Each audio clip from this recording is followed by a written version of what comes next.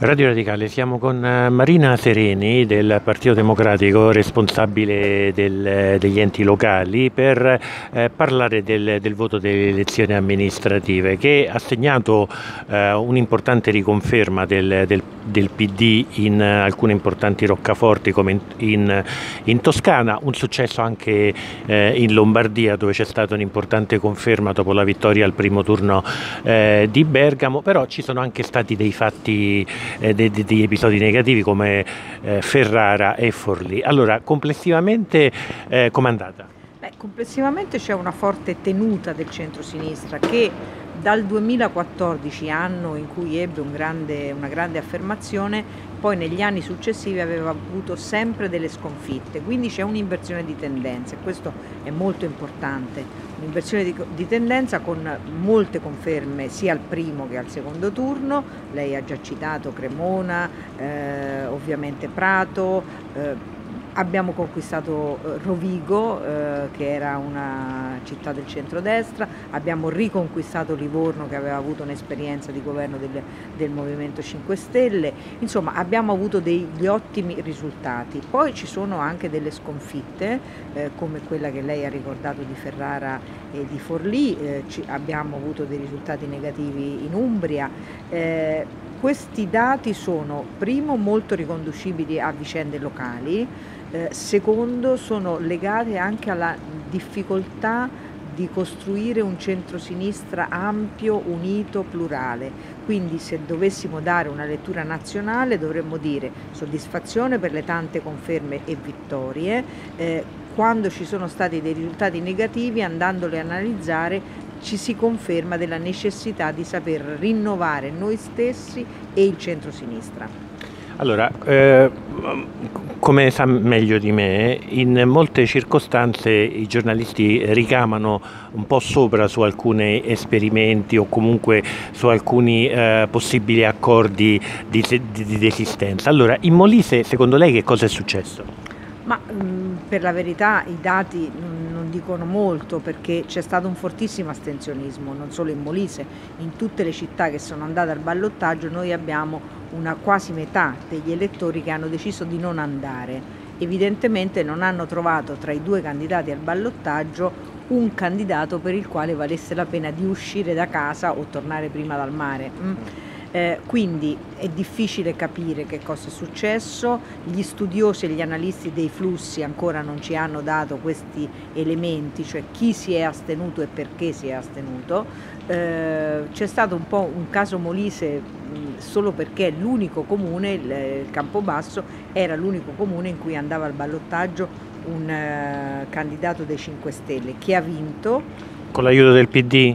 Ma mh, con l'aiuto del PD ufficialmente no, Certamente non dubito che una parte degli elettori del centro-sinistra, dovendo scegliere tra un candidato leghista e un candidato del Movimento 5 Stelle, peraltro persona assolutamente ragionevole e preparata, abbiano scelto il candidato del Movimento 5 Stelle. Non ci vedo nulla di male, ecco, io penso che eh, nel ballottaggio funzioni così.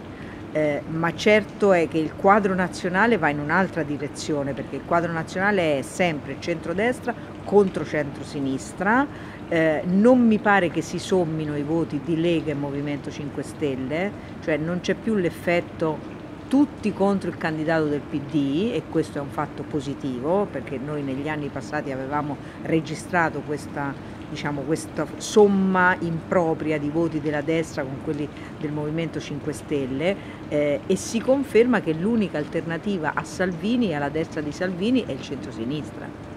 Ehm, siete preoccupati per quello che è successo in Emilia? Ma in Emilia abbiamo vinto 174 mi pare comuni, il centrodestra ne ha vinti 45 e un 15 vanno ai civici.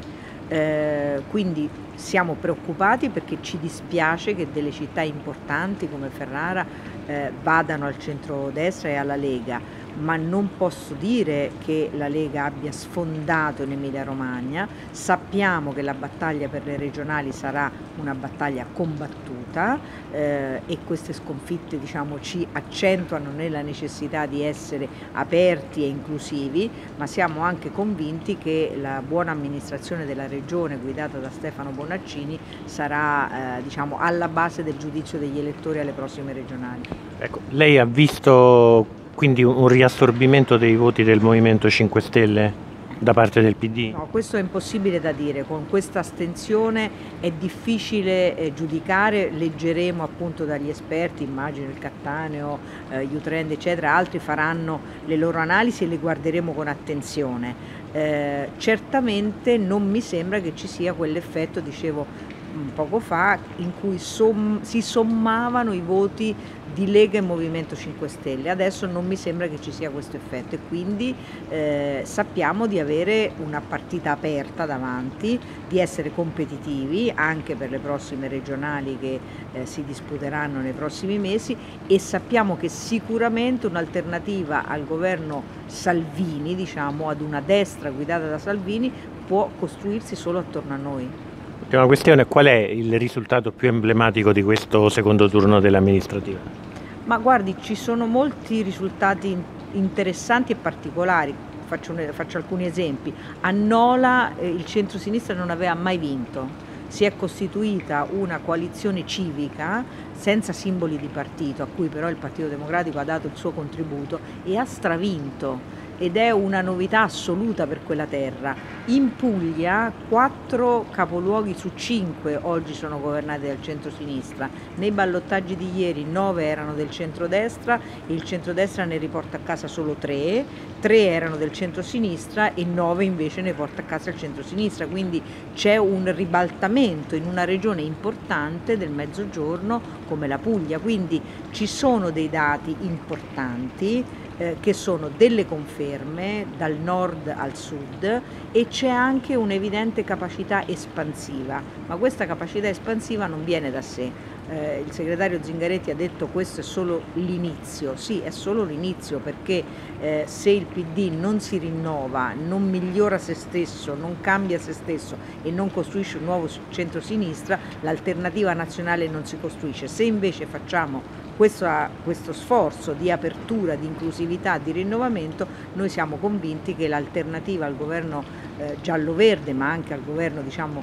a, di Marca Salvini, eh, sia possibile. Ringrazio, ringrazio Marina Sereni, responsabile enti locali del Partito Democratico.